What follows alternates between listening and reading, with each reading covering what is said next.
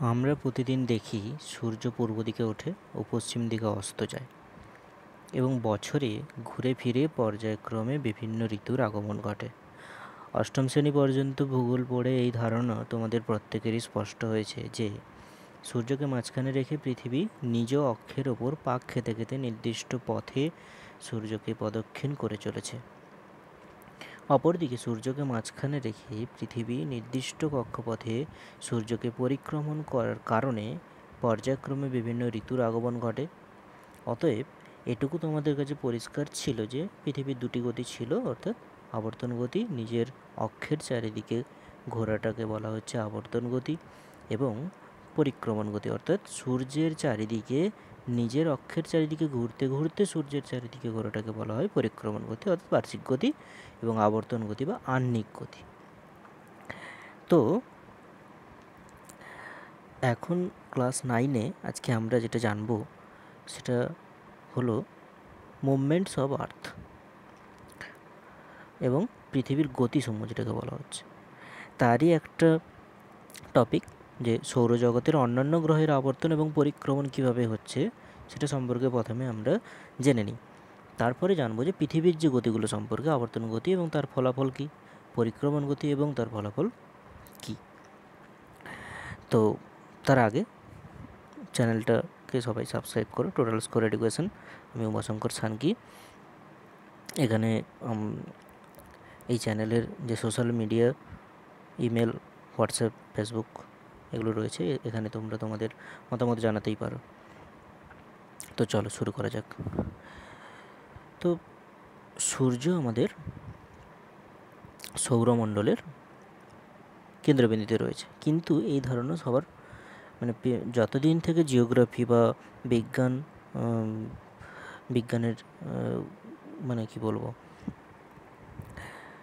বিজ্ঞানের পথ চলা শুরু হয়েছে, ততদিন থেকে কিন্তু এই ধারণাটা ছিল না যে সূর্য কেন্দ্রে রয়েছে এবং বাকি গ্রহগুলো চারিদিকে রয়েছে।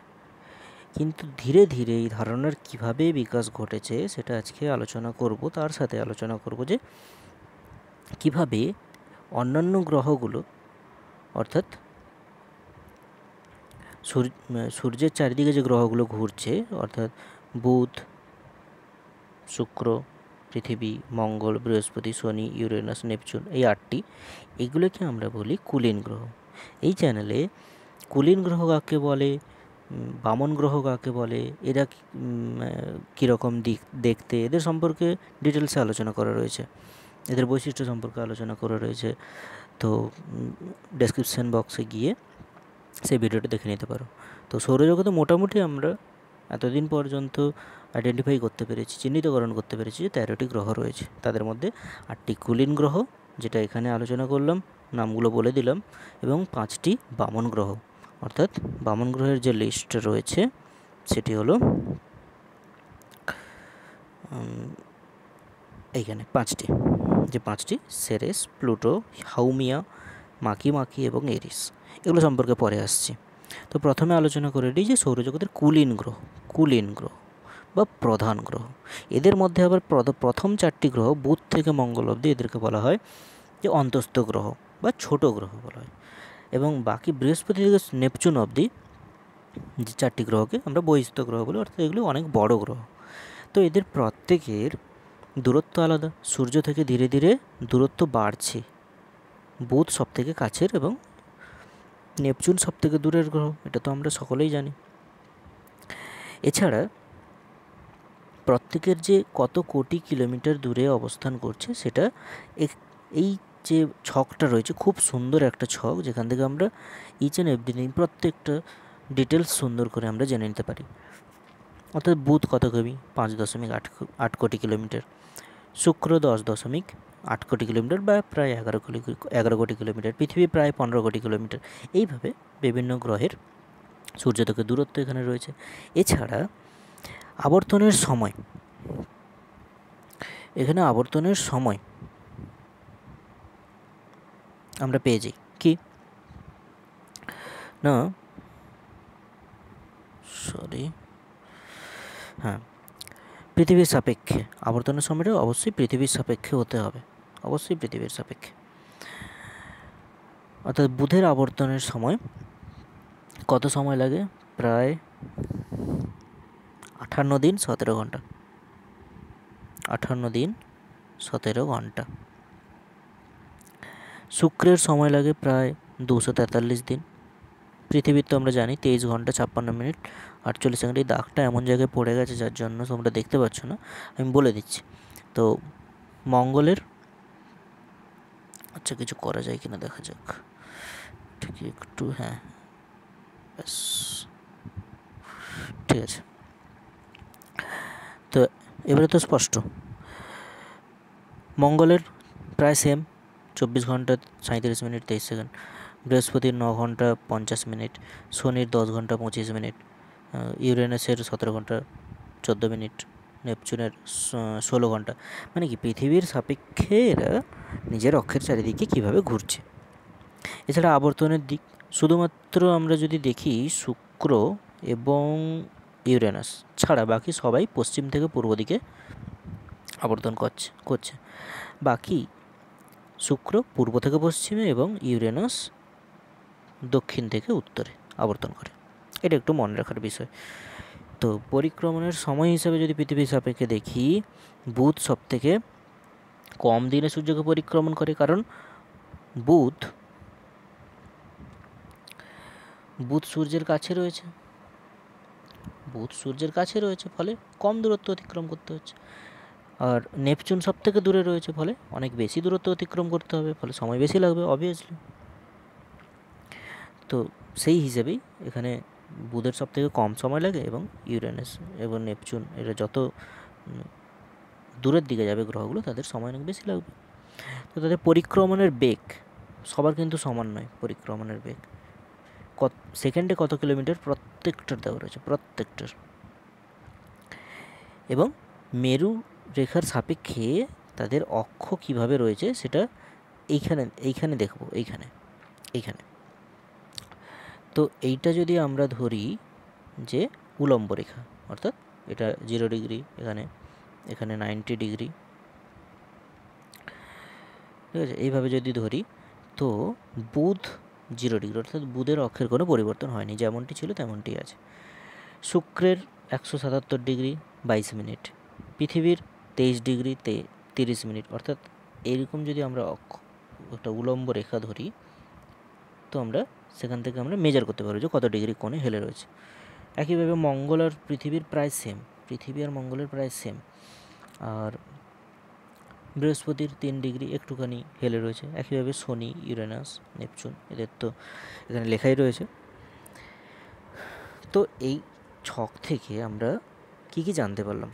এই ছক থেকে আমরা এটাই জানতে পারলাম যে শুক্র গ্রহের একবার পরিক্রমণ থেকে মানে একবার সূর্যের চারিদিকে ঘুরে আসার থেকে নিজের চারিদিকে ঘুরে আসতে সময় বেশি লাগে। এখানে সেটাই আমরা দেখতে পাচ্ছি। শুক্রের দুশো তেতাল্লিশ দিন সময় লাগে আবর, আবর্তনের সময়। কিন্তু দুশো পঁচিশ দিন সময় লাগে পৃথিবীর মানে পরিক্রমণের সময় লাগে পঁয়ত্রিশ, দুশো পঁচিশ দিন শুক্রের।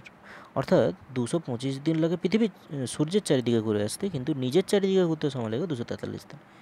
এটা একটু ব্যতিক্রম আছে, এটা জান, জেনে রাখতে হবে। তাই শুক্রের এক বছর থেকে একদিন অনেক বেশি হয়। এছাড়া পৃথিবী এবং মঙ্গলের আবর্তন বেগ আমি তো বলেই দিয়েছি, তেইশ ঘণ্টা, চব্বিশ ঘণ্টা এখানে লেখাই রয়েছে, তেইশ ঘণ্টা এবং চব্বিশ ঘণ্টা। আবর্তন বেগ প্রায় সমান। শুক্র গ্রহের আবর্তন পূর্ব থেকে পশ্চিমে হয় আর ইউরেনাসের দক্ষিণ থেকে উত্তরে। বাকি সবার পশ্চিম থেকে পূর্বে। এছাড়া বৃহস্পতি এবং শনি এই সুবিশাল গ্রহ, অথচ আবর্তনের সময় খুব কম। আবর্তন করতে ভীষণই কম সময় লাগে। অর্থাৎ এত বড় গ্রহ যে খুব স্পিড স্পিড অনেক বেশি আবর্তনের। অর্থাৎ ন ঘণ্টা পঞ্চাশ মিনিটে একবার তাদের দিন হয়ে যায়, একদিন কমপ্লিট হয়ে যায়। শনি দশ ঘণ্টা পঁচিশ মিনিটে একদিন কমপ্লিট হয়ে যায়। তো সূর্য থেকে যে গ্রহ যত দূরে যাবে, তার পরিক্রমণের বেগ তত কম হবে। এই যে পরিক্রমণের বেগ ধীরে ধীরে ধীরে ধীরে কমে গেছে, এখানে কমে গেছে। দেখতে পাচ্ছি। আচ্ছা এটা তো গেল কুলিন গ্রহ। এবারে আসি বামন গ্রহ। তো বামন গ্রহগুলো কী কী বললাম? সেরেস, প্লুটো, হাউমিয়া মাখি মাখি আর এরেস। তো এদের সূর্য থেকে যে দূরত্ব, এখানে দেওয়া রয়েছে কত কোটি কিলোমিটার দূরে পরপর পরপর রয়েছে। তো সব শেষ, সর্বশেষের যে গ্রহটা সেটা মানে কুলিন গ্রহ, তাকে বলা হচ্ছে নেপচুন। তো নেপচুনের পরে এক ধরনের অ্যাস্টেরয়েড বেল রয়েছে। অর্থাৎ যাকে আমরা বলি গ্রহাণুপুঞ্জের বেল্ট রয়েছে। তো সেখানেই যে বড় বড় গ্রহাণুগুলো রয়েছে, সেগুলোকে আমরা বামন গ্রহ হিসেবে চিহ্নিত করি। তাদের মধ্যেই পাঁচটা বড় এখনও পর্যন্ত আবিষ্কার হয়েছে। সেইগুলো সূর্য থেকে কত দূরে অবস্থিত? এক সেরেস একচল্লিশ দশমিক ছিয়াশি কোটি কিলোমিটার বা প্রায় বিয়াল্লিশ কোটি কিলোমিটার দূরে। অর্থাৎ যদি বিয়াল্লিশ কোটি কিলোমিটার হয়, তাহলে বুধের থেকেও কাছে অবস্থিত। সরি মানে বৃহস্পতি এবং মঙ্গলের মাঝে অবস্থিত। বৃহস্পতি, মঙ্গল বাইশ কোটি কিলোমিটার দূরে, বৃহস্পতি সাতাত্তর। তাহলে বাইশ আর সাতাত্তরের মাঝে কে থাকবে? সেরেস থাকবে। একইভাবে প্লুটো, হাউমিয়া মাখি মাখি কে কোথায় অবস্থিত? সেটা তোমরা একটু বিবেচনা করে নাও। যদি এটা প্লুটো হয় পাঁচশো নব্বই, তাহলে প্লুটো কার মাঝে থাকবে? মাঝে নয়, নেপচুনের পরে বাকিগুলো থাকবে। বাকি প্রত্যেকটা নেপচুনের পরে। তো শুধুমাত্র মঙ্গল এবং বৃহস্পতির মাঝখানে থাকছে সেরেস। বাকি প্রত্যেকটা নেপচুনের পরে থাকবে। প্লুটো থেকে এরিস অবধি প্রত্যেকটা দূরত্ব নেপচুনের থেকেও বেশি। এবারে আসি আবর্তনের সময়। পৃথিবীর সাপেক্ষে আবর্তন কত? অর্থাৎ পৃথিবীতে এক মানে একদিন হয় চব্বিশ ঘন্টায়, তো সেরেসে কত? ন দশমিক এক ঘন্টায় একদিন কমপ্লিট হয়ে যায়। প্লুটো ছয় দশমিক তিন নয় দিনে কমপ্লিট হয়ে যায়। তো এদের মধ্যে প্লুটোর আবর্ত মানে বামন গ্রহগুলোর মধ্যে প্লুটোর আবর্তনের বেগ মানে আবর্তন করতে সময় অনেক বেশি লাগে। তার মানে কি? বেগ অনেক কম। এবং পরিক্রমণের যে কত সময় লাগে সূর্যের চারিদিকে ঘুরতে, সেই হিসেবে সেরেস সবথেকে কম সময়ে সূর্যের প্রদক্ষিণ করে। কারণ মঙ্গল আর বৃহস্পতির মাঝে অবশ্যই কাছাকাছি থাকে বলে তাড়াতাড়ি ঘুরে আসে। কিন্তু কিন্তু এরিস সব থেকে দূরে আছে বলে সময় বেশি লাগে। পাঁচশো একষট্টি দশমিক চার বছর সময় লেগে যায় একবার এক বছর কমপ্লিট হতে। ভাবতে পারছ? তো এই কয়েকটা সংক্ষিপ্ত তথ্যের মাধ্যমে আমরা আজকে জেনে নিলাম।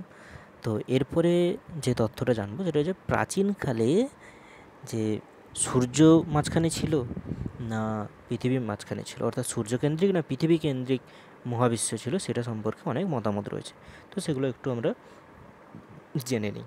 তার আগে একটা জিনিস আমাদের জানতে হবে যে, এই দুটো ধারণার যে বৈজ্ঞানিক যারা ছিলেন, যারা এই প্রবক মানে প্রবক্তারা যারা ছিলেন, তাদের নাম কিছু আমাদের জানতে হবে। তো এখন তো আমরা জেনে গেছি যে, সূর্য মাঝখানে আছে। কিন্তু এই ধারণা একদিনে প্রতিষ্ঠিত হয়নি। অসংখ্য বৈজ্ঞানিক অনুসন্ধান, প্রমাণ, গবেষণা এবং ঘাত প্রতিঘাতের মাধ্যমেই কিন্তু এই ধারণাটা প্রতিষ্ঠিত হয়েছে। আচ্ছা প্রথমে আসা যাক। সূর্যকেন্দ্রিক, অর্থাৎ সান মাঝখানে থাকবে। সান থাকবে মাঝখানে। আচ্ছা তার আগে আমরা এটা জানি যে সূর্যের আগে পৃথিবী মাঝখানে থাকলে কী হতে পারে? সেটা সেটার ধারণা কারা কারা দিয়েছেন? যে আর্থ যদি মাঝখানে থাকে, তাহলে কীরকম দেখতে হবে ওই মডেলটা? ওই মডেলটা কে দিয়েছিলেন? অ্যারিস্টটল। তো প্রাচীন গ্রিক যুগে ধারণা করা হয়েছিল যে পৃথিবীকে মাঝখানে রেখে নক্ষত্রগুলি স্থির আছে। কিন্তু সাতটি গ্রহ এবং সাতটি গ্রহ প্রদক্ষিণ করছে। অর্থাৎ তাদের মধ্যে সূর্য, চাঁদ এদেরকে গ্রহ বলা হয়েছিল। শুক্র, মঙ্গল, বৃহস্পতি, শনি এই সাতটি গ্রহ এদেরকে গ্রহ বলা হচ্ছিল। এরা পৃথিবীকে প্রদক্ষিণ করতো পৃথিবীকে মাঝখানে রেখে।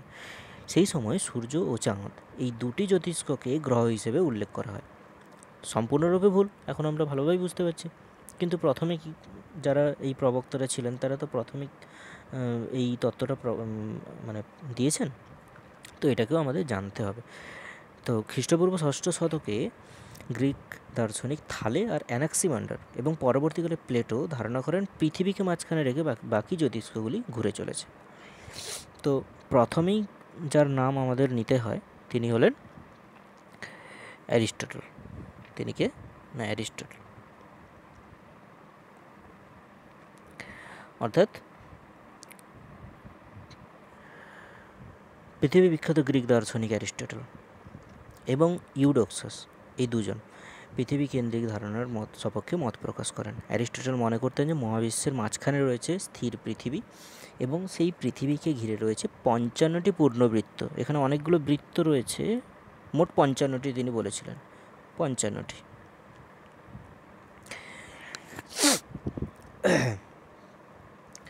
তো এই পঞ্চান্নটি বৃত্তের মধ্যে চাঁদ, সূর্য, সমস্ত কিছুই ছিল। তো টলেমি কি বলেছিলেন? টলেমি। টলেমি বলেছিলেন যে তিনি বলেছিলেন খ্রিস্টপূর্ব দেড়শো সাল নাগাদ অ্যারিস্টটলের মতো পৃথিবীকেন্দ্রিক ধারণার সপক্ষে মত প্রকাশ করেছিলেন এবং তার মতে পৃথিবীকে মাঝখানে রেখে বৃত্তাকার কক্ষপথগুলির মধ্যেই গ্রহগুলি অবস্থান করছে। তো সেম একই। এবারে আমাদের ভারতীয় একজন জ্যোতির্বিজ্ঞানী, যাকে আমরা খুব ভালোভাবে জানি আর্যভট্ট আর্যভট্ট হাতের লেখাগুলো ভীষণ খারাপ হচ্ছে, কিছু মনে করো না। তো আর্যভট্ট কত? চারশো নিরানব্বই সালে আর্যভট্ট প্রথম উল্লেখ করেন, পৃথিবী স্থির নয়, উপবৃত্তাকার পৃথিবী তার অক্ষের ওপর আবর্তন করে। অর্থাৎ তিনি প্রথম যে ধারণাটা দিয়েছিলেন যে পৃথিবী মাঝখানে নেই, অর্থাৎ সূর্য মাঝখানে রয়েছে, সূর্যকে কেন্দ্র করে পৃথিবী উপবৃত্তাকার পথে ঘুরে চলেছে। এই ধারণাটা চারশো নিরানব্বই সালে, অর্থাৎ খ্রিস্টের জন্মের চারশো নিরানব্বই বছর পর তিনি দিয়েছিলেন, কিন্তু এতটা পপুলার হননি। কিন্তু পপুলার কে হয়েছিলেন? না, Nicolaus Copernicus. Nicolaus Copernicus. Copernicus হয়েছিলেন পপুলার কারণ ভারতীয়দের তখন এত যে মানে খুব ভালো চোখে দেখা হতো না। আর ভারতীয়দের সমস্ত জ্ঞান বিজ্ঞানের যে তত্ত্বগুলো, সেগুলো বিদেশেও যেত না। তো বিদেশিরা এভাবেই মানে ভারতীয়দের দমিয়ে হোক বা যাই করে হোক, তারা পপুলার হয়েছে। তো আধুনিক জ্যোতির্বিজ্ঞানের জনক বলা হয় নিকোলাস কোপারনিকাসকে। কারণ তিনি এই তত্ত্ব দিয়েছিলেন যে সূর্য মাঝখানে রয়েছে এবং বাকি গ্রহগুলো তাকে কেন্দ্র করে উপবৃত্তাকার পথে বা বৃত্তাকার পথে ঘুরে চলেছে। তার De revolution ডিভো sorry De Revolutionibus De Revolutionibus. এই গ্রন্থে পনেরোশো চোদ্দ সালে তিনি এই মহাবিশ্বের এই ভর কেন্দ্র, অর্থাৎ মাঝখানে যে পৃথিবী রয়েছে, সেই তত্ত্বটা তিনি দিয়েছিলেন। এছাড়া জোহান, জোহানেস কেপলারও এই তত্ত্বের সমর্থন করেন। Kepler, Johannes Kepler, Galileo, same উনিশশো বিরানব্বই সালে ভ্যাটিকানের পোপ এই সত্যকে স্বীকারও করে নিয়েছিলেন গ্যালিলিওর পরে, গ্যালিলিও স্বীকার করার পরে। এছাড়া আইজাক নিউটন তার প্রিন্সিপিয়া যে গ্রন্থটা রয়েছে, বিখ্যাত গ্রন্থ, সেখানে প্রথম সূত্রের সাহায্যে তিনি ব্যাখ্যা করে দেন যে মহাবিশ্বে প্রতিটি বস্তু, প্রতিটি বস্তুকে আকর্ষণ করছে। এই আকর্ষণের প্রভাবেই সূর্যকে কেন্দ্র করে গ্রহ উপগ্রহগুলি ঘুরছে। অর্থাৎ এই যে মডেলটা, এই যে মডেলটা, এই মডেলটাকে বেস করে আমাদের জ্যোতির্বিজ্ঞানের সমস্ত কিছু। অর্থাৎ জ্যোতির্বিজ্ঞানের নারী বলা যেতে পারে এটাকে। ঠিক আছে? এই হলো যে কীভাবে সূর্যকেন্দ্রিক তত্ত্বের ইভ্যালুয়েশন হয়েছে, কীভাবে তত্ত্বর, তত্ত্বের পরিবর্তন হয়েছে এবং বর্তমান তত্ত্ব আমরা পেয়েছি। তো তারই একটা সংক্ষিপ্ত ইতিহাস এবং বিভিন্ন গ্রহগুলি সম্পর্কে কিছু গুরুত্বপূর্ণ তথ্য আলোচনা করে দিলাম। তো এখানেই শেষ করছি। অনেক অনেক ধন্যবাদ। ভিডিওটি দেখার জন্য ভিডিওটিকে লাইক, শেয়ার এবং অবশ্যই কমেন্ট করবে এবং চ্যানেলটাকে সাবস্ক্রাইব করবে। তো সেকেন্ড পার্টের জন্য অপেক্ষা করি। সেকেন্ড পার্টটি অবশ্যই আসবে কিছুদিনের মধ্যে। সেখানে পৃথিবীর আবর্তন এবং পরিক্রমণ সম্পর্কে অনেক আরও নতুন নতুন তথ্য এবং ছবির মাধ্যমে আলোচনা করা হবে। ঠিক আছে? Thank you